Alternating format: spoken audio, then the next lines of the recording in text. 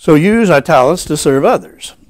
For as we have many members in one body, and all members have not the same office, just as we explained, so we being many, many are one body in Christ, and every one members of another. And then in 1 Corinthians chapter 12, the only other chapter other than chapter uh, 12 of Romans, where there's a thorough discussion of the various gifts that were given. He says here, verse 14, For the body is not one member, but it's many. Then skipping to verse 21, The eye cannot say to the hand, I have no need of thee, or the head to the feet, I have no need of you. There should be no schism in the body, but that the members should have the same care one for another. Mm, isn't that powerful? Every member should have the same care one for the other. And whether one member suffers, all the members suffer with it. One member be honored, all the members rejoice with it. Have you ever noticed that when your finger hurts, your entire body hurts? If your head hurts, the whole body suffers with it. If you can't sleep at night because you're having a hurting finger or a head or whatever it might be, have you noticed the rest of the body has to stay awake also? And he's saying that's the way it ought to be spiritual in the body of Christ. If one member hurts, then all the members hurt. If one member rejoices, all the members rejoice with it. So use our talents and our abilities to help all the other parts of the body. You see, my hair can't comb itself. It takes another part of my body to do it. It takes a comb within the hand, doesn't it? You notice that a mouth cannot feed itself? Sometimes it takes a hand to get it up here, doesn't it? And can a foot put a shoe on and tie it by itself? No. It takes the other part of the body to take care of that part of the body. Isn't that a beautiful picture of the way the body of Christ is the function? That each part is looking out for the other part and says, if you have need, here am I. If I have need, there are you. And, and so he's saying, then use our talents and our abilities to serve the rest of the body and use our talents and abilities to serve the Lord in general. And I put this up here to remind us. The old adage, you use it or lose it. And that's just basically the case. If we use our talents and abilities, they grow and grow and grow. If we do not use them, they get less and less until they are not available. That's just the way it is. Now, suppose for just a moment that I decided that this right arm, I will not use it. And so I tie it down to my side. What would happen in six months? I could not move that arm. Why? It's, it's not active, not being used. And so if we don't use what we have, we lose. And so the same with our talents and our abilities. Number five, hate evil. Cleave to that which is good. Here's specifically what he said Abhor that which is evil and cleave to that which is good. Greek word for abhor is a very strong word. It means to detest. Absolutely, utterly, utterly detest something. So look what he's saying. You absolutely, utterly detest that which is evil. And so Psalm 97, verse 10 correlates with it. Ye that love the Lord do what? Hate evil. Dislike it? No, you hate evil. Proverbs 8:13, the fear of the Lord is to hate evil. And pride and arrogance, an evil way, and the forward mouth do I hate. Psalm 119, verse 104, through thy precepts I get understanding, therefore I hate every false way. So you see, the Old Testament taught that same concept as Paul is teaching in the New Testament. Now, the key is found in Revelation 2, verse 15. To one of those seven churches he's writing, he says, So hast thou also them that hold the doctrine of the Nicolaitans, which things I hate. Now, here's where we have a problem. If we aren't careful, we'll not only hate the sin, but we'll hate the person who sins. And that is so wrong. Hate the sin with a passion, utterly detest any and every evil way. But we still must love the person who practices that sin. Why? Because God does. Jesus did. You know, He died for sinners. Have you noticed what, what the Bible says? Jesus didn't die for the righteous, He died for the sinners. And we have to love everybody, but detest every evil way. So abhor that which is evil, but cleave to that which is good. Now, New American Standard Version uses the word cling to. You ever seen a little child cling to his mother? You just can't get that child away. He just clings to it. That's what he said, cling to good. And then the English Standard Version says, hold fast to. You get the impression, hang on to it. And I've kind of paraphrased it. Cleave to, adhere to, cling to, hold fast, be glued to that which is good. So here's the distinction. Anything bad, we hate. Anything good, we're to cling to it, be glued to it, hang to it, cleave to it, cling to it, whatever words that we wish to use. And then finally, number six, and we'll close the lesson today.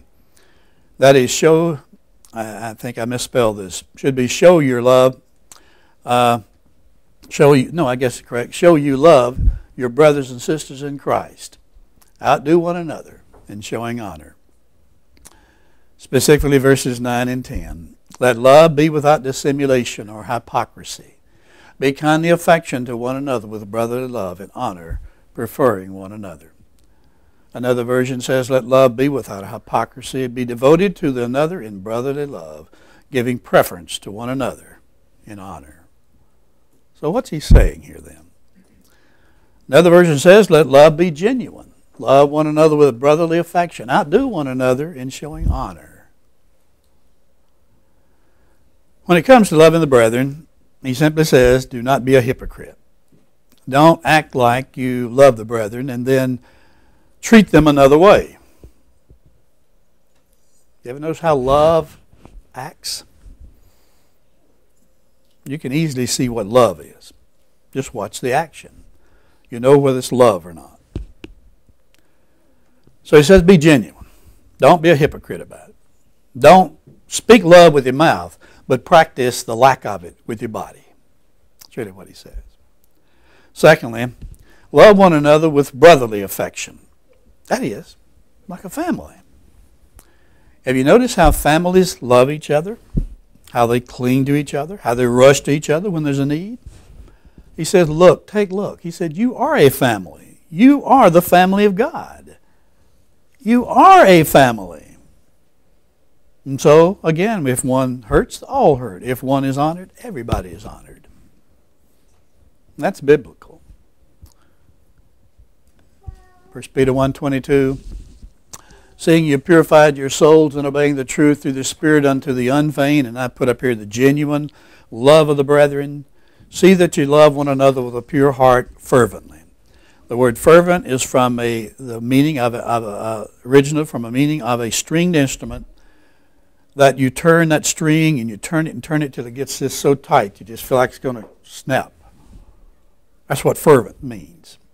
It means intense. So, unfeigned love of the brethren. See that you love one another intensely. Intensely. And the third thing in this verse from Romans 12 outdo one another in showing honor. And as I've indicated, it denotes that esteem in which one Christian should hold of another. It ought to be high and unselfish and free from envy and jealousy so that we love each other with a genuineness, with the absence of all envy and jealousy and strife or anything else. But there's just that solid love one for another. Thus the Bible teaches. And so I find here in, in the Roman letter some powerful exhortations. Let's review them briefly. Number one, he says, offer your body a living sacrifice. It's alive, but we don't own it. It's been given in service to God. Secondly, live differently from the world. Don't be conformed to the world. Live totally different from the world. Number three, don't think of yourself too highly because of your accomplishments or your looks or intelligence or money or possessions or, or family status or whatever it might be. But do love yourselves because of what you are inherently a good person that surrendered their lives to the Lord. Love yourself because of that. Fourthly, use your talents and your gifts and abilities for the Lord and for His service. Number five, abhor, hate that which is evil, cleave to, cling to, be glued to that which is good. And number six, show your love to brothers and sisters in Christ. See if, if you can't outdo each other. And, and I, I, I also, just to illustrate it, I also advise this for family members, particularly husband and wife. See which one can outdo the other being the kindest and the gentlest and the lovingest. What would you have at home? Heaven on earth. What in the body of Christ if we did the same thing? Each one of us tried to outdo the other in showing love and concern and care. What would happen in the body of Christ? We'd have a touch of heaven on earth, wouldn't we? Brethren, is this scriptural? Yeah. It's right to the keep scriptural, isn't it? We really need to work on these things. So follow these directives from Paul, and our lives will be different. Now, if you're not in Christ, I do want you to look at this verse. If any man be in Christ, he's a new creature. Old things have passed away, and behold, all things are become new. As we talked in class this morning about repentance, there's a total change of attitude towards serving God before we're baptized. We die to sin, and then we're baptized into Christ. And then we are put him on in baptism. For as many as have been baptized into Christ have put on Christ. So it may be that you've looked at your life and you want to begin the walk of being a Christian. This is the beginning point that you repent of your sins knowing, of course, that Christ is the Son of God and He's your Savior. Repent of sins, a change of mind, and having your body immersed in water for the remission of sins. From this reading, from the first 10 verses of Paul's writing to the Roman brethren, I get a distinct impression that serving God is very serious business. Do you?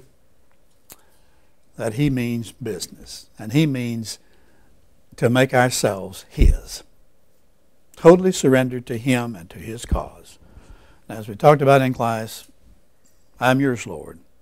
What do you want me to do? How do you want me to live? How do you want me to act? How do you want me to react? How do you want me to speak? Whatever you want, Lord, I'm yours. Maybe we're Christians and we really don't think that way. Then we need to repent. And maybe our confession to each other and praying to each other for each other would help us to overcome it. The lesson is yours. Let's stand. Let's sing to each other. Respond if you need to.